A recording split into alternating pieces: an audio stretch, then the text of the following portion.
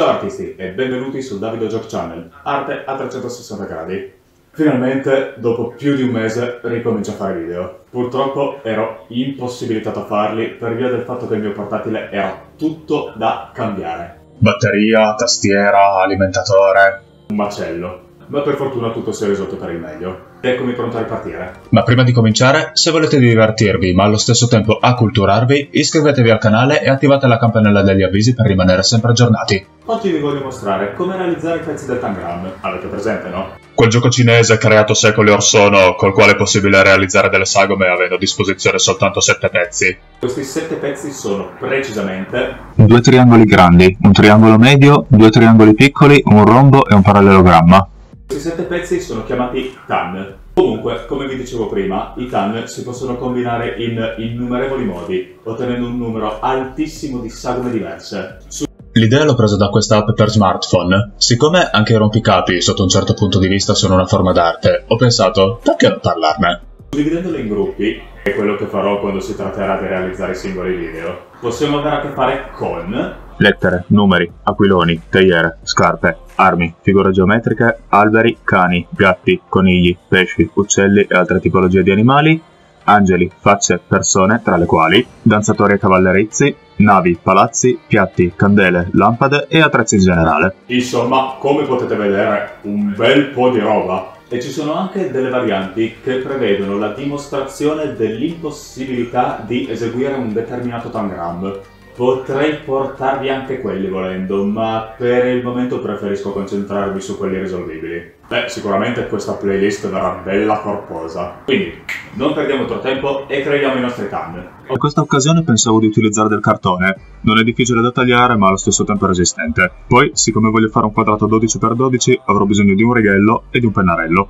Forbici per ritagliare e, infine, ma questi sono facoltativi, pennelli a colori e un foglio di giornale per evitare di sporcare.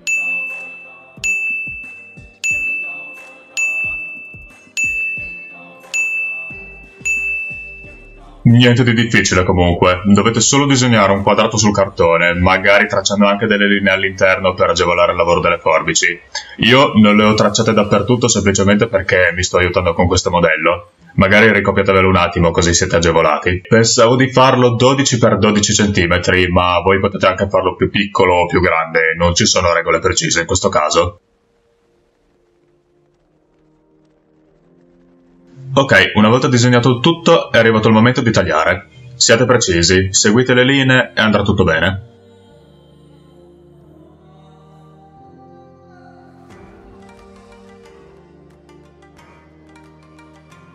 Infine c'è l'operazione facoltativa.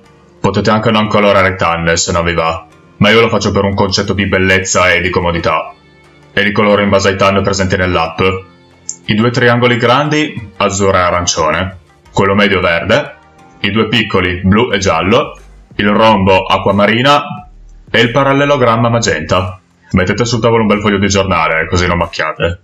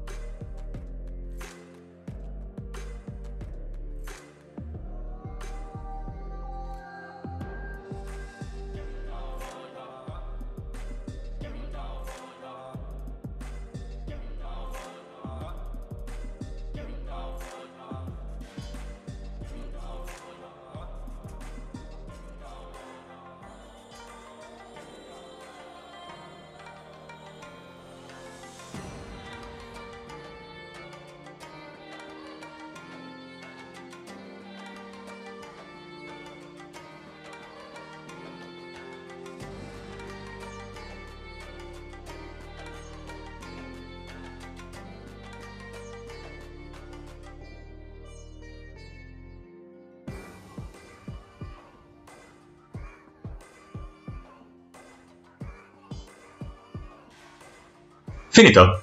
Ecco voi il risultato finale, come vi sembra? Ora dovete solo tenervi pronti perché poco per volta porterò tutte le 1001 sagome che vi ho menzionato in precedenza.